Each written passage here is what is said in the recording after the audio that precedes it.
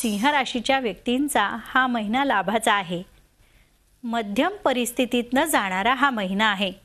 मुळातच रवी आणि शनी युती झाल्यामुळे तुमच्या राशीचा स्वामी रवी हा ग्रह शनीच्या युतीत जाणार असल्यामुळे काही अंशी थोडंसं डिप्रेशन येणं कामं दिरंगाईत जाणं उशिरा होणं असं होऊ शकतं. अर्थात थोडीशी प्रकृतीची काळजी घेणं महत्त्वाचंच आहे. मध्यम फलश्रुतीकडनं चांगल्या फलश्रुतीकडे वाटचाल करून देणारा तुमचा हा महिना जाणार आहे.